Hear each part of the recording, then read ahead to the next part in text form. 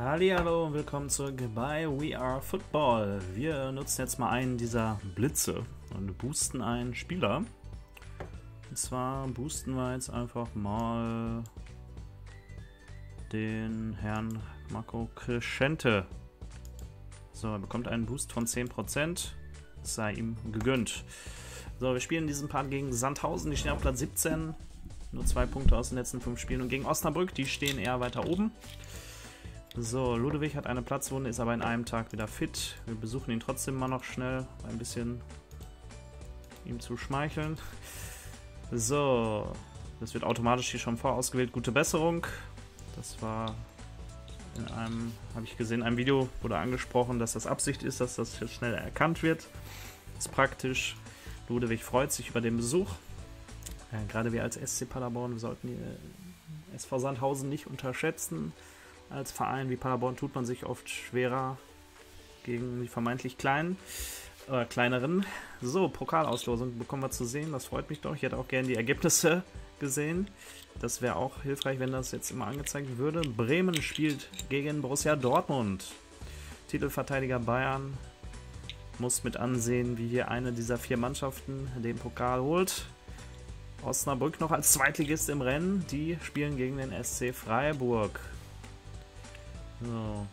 Dortmund aktuell die dominante Mannschaft im deutschen Fußball. Kündigung Finanzen. Ein Mitarbeiter hat gekündigt, weil seine Abteilung überlastet ist. Wir machen nur noch Überstunden. Wie gesagt, das verstehe ich nicht so ganz. Ich habe, glaube ich, maximale Anzahl an Mitarbeitern in diesen Abteilungen. Warum sind die dann immer so überlastet? Kann ich nicht einfach mehr einstellen? Verstehe ich nicht, verstehe ich nicht so ganz so. Auch Sandhausen ist etwas stärker als wir. Wir sind eigentlich die schlechteste oder zweitschlechteste Mannschaft von der Stärke her. Spielen dementsprechend über unseren Verhältnissen. So, der Karpic ist ganz gut in Form, wird dadurch auch mal mit einem Einsatz belohnt. Chandemir ist natürlich auch überragend in Form. Der muss jetzt aber als junger Kerl auch lernen, dass man manchmal zurückstecken muss. Ähm, ansonsten, ja, Möller hat auch mal einen Platz auf der Bank. Wir müssen mal ein bisschen variieren hier. Vassiliadis ist der Einzige, der sich so richtig hängen lässt. Heiland verbessert seine Form auch zunehmend. Zingerle ist auch besser in Form. Wir sind stärketechnisch trotzdem leicht unterlegen. Kontern hier aber nicht. So, bei Sandhausen sehen wir keinen ehemaligen Paderborner. Wir sagen, mit unserer Spezialtaktik wird heute alles gut werden. Spezialtaktik haben wir eigentlich nicht, aber wir behaupten das jetzt einfach mal. So. Los geht's. Bei 12 Grad am 20. März ausverkaufte Benzler Arena Vincent Cornelius. Der Schiedsrichter direkt ein Angriff für uns in der vierten Minute. Antwi Ajay auf Hidalgo. Auf Dennis Rebeni und der Ah, Grill kann den Ball abwehren. Der Ball geht an den Pfosten und Rebeni nochmal auf. Ah, Tokas kein klärt. Dickes Ding hier. Auf geht's und tausend kämpfen und siegen. Die kämpfen um den Klassenerhalt. Hauke Wahl auf Candido auf Stefan Brandt. Der möchte nochmal in die erste Tage. Babic schießt einfach mal aus der 2-3 und trifft, macht sein erstes Saisontor. Ich weiß immer noch nicht, wie man seinen Vornamen ausspricht, aber ich weiß, dass er hier das erste Tor gemacht hat. Für Stefan Brandt war es auch der erste Assist. Rückpass Rebeni auf Hidalgo. Ah, schießt vorbei. Wir machen hier ganz gewaltig Druck. Jack Fay auf der Bank des SV Sandhausen schlägt die Hände über dem Kopf zusammen. Karpit schießt auch aus der zweiten Reihe. Grill kann aber abwählen. Wir machen hier ganz gewaltig Druck. Die Sandhäuser Sandhäuser oder Sandhausener, frage ich mich immer wieder. Eieiei, Srebeni mit einem Außenbandriss, das klingt gefährlich. Ich fürchte, die Saison ist für ihn gelaufen. Das ist ärgerlich, das ist ärgerlich. Für ihn kommt Badmatz, der Assistkönig. Brand auf Wahl, auf Candido, der dribbelt, schießt vom Rande des 16ers und trifft, macht auch sein erstes Saisontor. Hauke Wahl mit dem fünften Assist in der Saison bereits. 2 zu 0. Wir dominieren das Spiel. Babet auf Badmatz. Ah, der trifft das Tor leider. Ganz und gar nicht. So, Sandhausen völlig passiv, völlig von der Rolle. Die machen überhaupt nichts. Da wundert man sich nicht, warum sie auf Platz 17 stehen. Babic flankt. Hühnemeier auf Hauke Wahl auf Badmatz, der schießt. Oh, Lenz gibt den Ball eine andere Richtung. Das ist ein Eigentor. Ist das das erste Eigentor, was wir hier sehen? Wir führen 3 zu 0. Und jetzt auch Sandhausen mal mit einer Offensivaktion. Die Fans haben die Schnauze voll, suchen den Bierstand auf, zumindest mal einen Torschuss zu halten hier für Zingerle. Die Fans peitschen ihr Team dennoch nach vorne, aber ihr könnt nach Hause fahren, ihr könnt, ihr könnt, ihr könnt nach Hause fahren, sagen die Paderborner und wollen nochmal einen nachlegen. Hier in der ersten Halbzeit. Pirello kann den Ball aber abfangen und klären. Freistoß nochmal Lenz, ein 3-1 vor der Pause, würde den nochmal Aufwind geben. Makengo, Zingerle packt sich ja zu, keine Gefahr, äh, schon ein bisschen Gefahr. Brand zieht gelb, das ist unnötig beim Stand von 3 zu 0. Überragende erste Halbzeit. Überragende erste Halbzeit. Wir loben mal Zingerle und Candido. Den sage ich auch, dass sie super spielen. Zwei wäre eigentlich gut, aber die sind ja immer beleidigt, wenn ich sage, ihr spielt gut. Zingerle fand seine Leistung okay. Candido freut sich. Heißt auch Almeida. So. Verwandt oder verschwägert mit Hugo. Er hat einen langen Nachnamen. So, Hauke Wahl. Babic, der schießt aus 40 Metern. Schießt aber dann deutlich vorbei. Beim Stand von 3-0 kann man es mal. Wir hätten eigentlich nur 1,8 verdiente Tore. So sehen Sieger aus. Schalalala. So sehen Sieger aus. Karpic spielt hier gar nicht mal so gut. Chandemir kommt für ihn rein. Ähm, außerdem kommt Proschinski für Hidalgo. Wenn du mich fragst, wer Meister wird, dann sage ich zu dir. Ja, wir haben jetzt die 40 Punkte fast beisammen, wenn wir dieses Spiel gewinnen. Biada auf Halimi, Dropkick und oh, Traumtor des Monats aus dem Winkel in den, aus dem spitzen Winkel in den Winkel zu treffen, das ist mal beeindruckend. Und noch ist genug Zeit für die Sandhäuser, Sandhausener. Um hier nochmal ranzukommen. Batbatz! Aber bereitet dann, sorgt dann quasi für die Entscheidung. 4 zu 1, ein Tag so wunderschön wie heute. Wir können nochmal wechseln. Sandhausen konnte sich wenigstens über dieses schöne Tor freuen. Wir bringen Sven bei dem Spielstand, bringe ich jetzt mal Crescente und mal Philipp. Philipp geht einfach mal hier auf links außen. So. Georgeschi sieht gelb.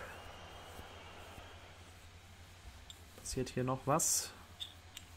Nochmal ein Angriff. Tor, Tordifferenz könnte natürlich auch entscheidend werden. Die wollen nochmal eins machen. Aber das ist zu ungefährlich, wenn der Schuss ganz nett war. Wir gewinnen 4 zu 1. Deutlich. Das ist wunderbar. Klettern damit sogar nach Wochen mal in der Tabelle auf Platz 8.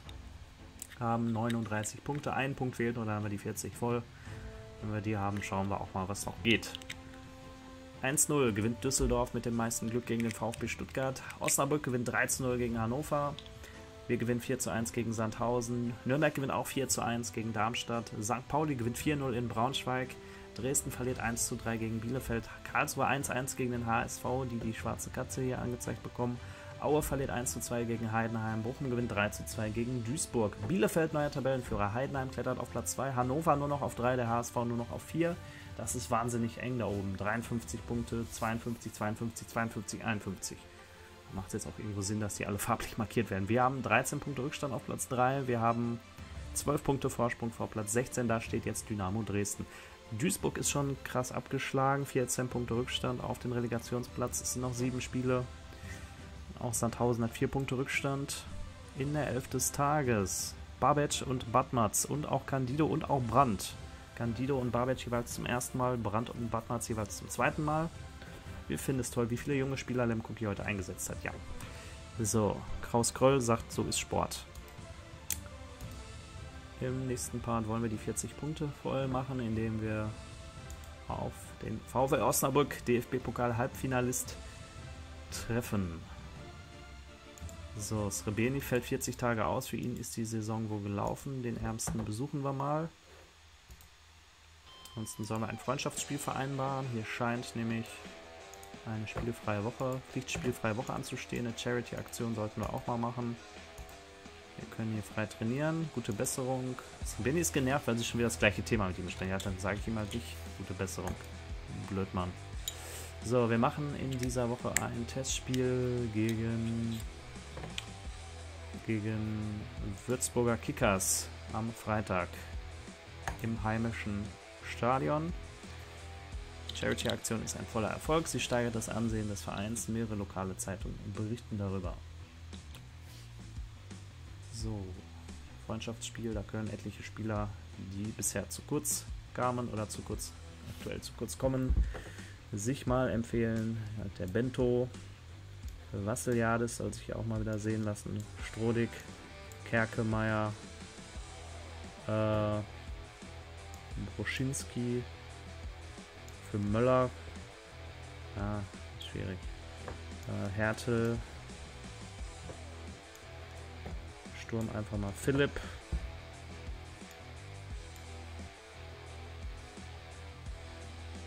Ähm, soll auch mal wieder mitspielen. Uro Summer. Ja, ansonsten habe ich ja einige in die zweite Mannschaft verschoben. So, die spielen jetzt einfach mal. Wir sind schwächer als Würzburg. Über 8000 Zuschauer ist nicht schlecht für ein Testspiel. Samuel Mies. Schöner Name. 14 Grad. So, bei Würzburg sehe ich keinen ehemaligen Paderborner. So, wir stellen den Einsatz ein wenig ein bisschen runter. Wir gehen das Spiel konzentriert an. Das ist ein Freundschaftsspiel, das mir wichtige Informationen liefert, sage ich. So soll es auch sein. Wir stellen hier mal alles auf ein bisschen schneller. Und was sehen wir hier? In der ersten Halbzeit fast gar nichts. Es gab eine gelbe Karte für Antwiace. Warum habe ich den denn nicht rausgenommen? Der geht auch jetzt raus. Ähm, Michel kommt rein. Ansonsten wechseln wir mal durch hier. Chandimir kommt für... Ach, nee, der Highland, der soll sich mal... Der soll mal durchspielen. Gehlen kommt rein. Möller kommt mal in der Innenverteidigung rein. Da kann nämlich Crescente auf die 6 gehen. Und die anderen müssen einfach mal durchspielen. So, die Spieler sind amüsiert. Wir liegen 1-0 hinten. Graulich traf. Und wir verlieren mit 1 0. Aber naja. Hat sich keiner wirklich in den Vordergrund gespielt, aber Leute haben Spielpraxis gesammelt.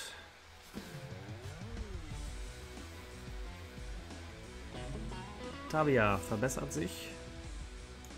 Eine Stufe. Und wir spielen gegen Osnabrück. Da könnte man von einem Derby sprechen, wenn man so will. Auch wenn das nicht in Nordrhein-Westfalen liegt. So, Osnabrück. Die wollen nach Berlin. Die wollen in die erste Liga. Aber wir wollen auch noch mal ein bisschen mitreden. HR schlägt Alarm. Die Marketingabteilung ist unterbesetzt. Wir brauchen neues Personal. Okay. Überarbeitet scheinen sie ja sowieso immer zu sein. Aus welchem Grund aber jetzt es ist dadurch zu erklären, dass zu wenig Personal da ist. Wir fahren 79 Kilometer an die Bremer Brücke, ausverkauftes Stadion. Mal wieder Arthur Kraft, der Schiedsrichter, 17 Grad. 14.600 Zuschauer. Wusste ich gar nicht, dass das Stadion kleiner ist als das Paderborner. So, wir stellen wieder um. Hauke Wahl, Justwan, Ludewig, die sind alle sehr gut in Form. Äh, Zingerle. Nach dem letzten erfolgreichen Spiel werde ich da nichts ändern. Ähm Batmatz. Hidalgo. Antwiace. Ähm Babic. Wer, war, wer hat denn auf der 10 gespielt? War das Gehlen? Chandemir, glaube ich, ne? So. Ähm, Candido. Ja, so wollen wir spielen. So soll es laufen. Hier wird ein bisschen mehr gekontert. So. Los geht's. Wir sind gallig und eklig mit unserer... Die Null muss stehen, sage ich einfach mal, wenn das jetzt gar nicht so unbedingt meine Priorität ist. So, hier bei diesem stimmungsvollen Spiel werden die Fans wieder angeschaltet.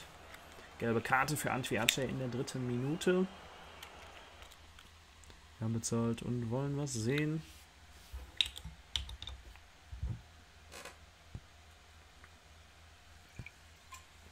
Hauke Wahl, Hidalgo steht im Abseits. Mit einem Remis würden wir die 40 Punkte voll machen. Benassa auf Santos, der schießt. und bringt Osnabrück in Führung. 16. Saisontor schon. Ja, der Srebeni kann dies Jahr nicht mitreden die Torjägerkanone. Fällt verletzt aus für den Rest der Saison. Knight passt auf Reichel. Hat noch keine Torchance hier. Sassa. Osnabrück würde aktuell auf Platz 2 stehen oder steht auf Platz 2 in der Blitztabelle. Sassa oh, trifft das Tor zum Glück nicht. Puh. Einmal verschnaufen Paderborn.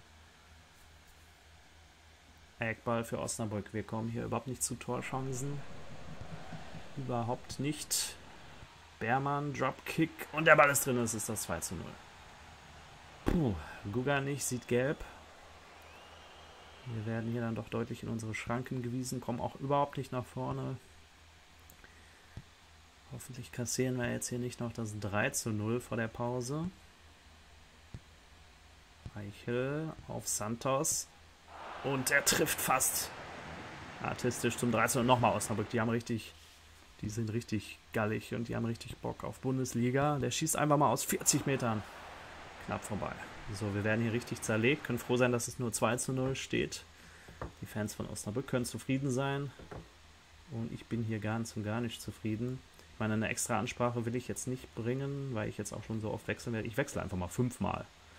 So, Antwi Ace hat gelb, der geht raus. Michel kommt rein. Evans kommt für Justwan. Crescente kommt für Babec. Äh, Gelen kommt für Chandemir. Und Boschinski kommt für Hidalgo. So, fünfmal gewechselt. Das ist eine Ansage. Ihr habt bezahlt, ihr habt bezahlt, ihr habt bezahlt. Ihr könnt jetzt gehen. Mal der Kontergesang hier. Ja, True Story. Knight auf Sasa. Reichel. Guganich. Adli. Schießt. Michel versucht zu klären und trifft ins eigene Tor. Das ist das 3 zu 0. Unser erstes eigenes Eigentor, glaube ich. Ah, die Eigentore häufen sich auf beiden Seiten. Candido sieht gelb. So ein Tag so wunderschön wie heute. Wir stellen auf extreme Offensive. Gucken, ob wir hier noch was holen können. Paderborn. Die Fans haben wenigstens nicht so eine lange Anreise gehabt. Wir hatten überhaupt keine einzige Torchance. Sasa sieht gelb. Können wir wenigstens ein Ehrentor erzielen. Ansonsten, ja, ich meine, wir müssen uns keine Sorgen machen tabellarisch, aber man hätte vielleicht nochmal oben ein bisschen schnuppern können. Crescente schießt. Grün, wert ab.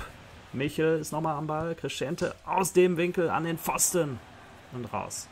Ah, es war aber wenigstens ein dickes Ding. Aber Osnabrück weiterhin dominant. Sassar, Ihorst, Majetschak trifft das Tor nicht.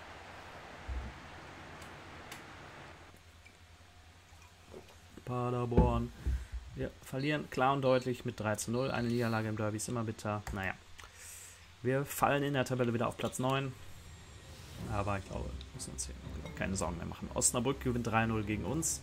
Bielefeld gewinnt 2 1 gegen Aue. Heidenheim verliert 1 2 gegen Karlsruhe. Stuttgart gewinnt 5-0 gegen Nürnberg. Darmstadt gewinnt 2 1 gegen Duisburg. Hannover verliert 1 2 gegen Düsseldorf. Die hatten das meiste Glück. Sandhausen hat das meiste Pech. Die spielen 0 0 gegen Braunschweig. Der HSV gewinnt 1 0 gegen Bochum und St. Pauli gewinnt 2 1 gegen Dresden. Bielefeld auf Platz 1, dahinter der HSV jetzt auf 2. Osnabrück klettert auf Platz 3. Es bleibt unglaublich spannend. Wir haben 15 Punkte Rückstand und sind nur noch 18 Punkte zu holen. Aber zumindest solange wir rechnerisch noch mitmischen können, werden wir auch darauf spekulieren. Zumindest ein bisschen. Wir haben 12 Punkte Vorsprung vor Platz 16 auch da. Solange wir noch absteigen können, werden wir auch darauf spekulieren. Ja, und Duisburg, bei denen wird es immer enger. So, ich achte einfach mal auf die Namen. Da ist aber kein lustiger Name dabei. Crescente in der Elf des Tages. Versteht verstehe ich, wer, verstehe, wer will bei einer 3 zu 0 Niederlage.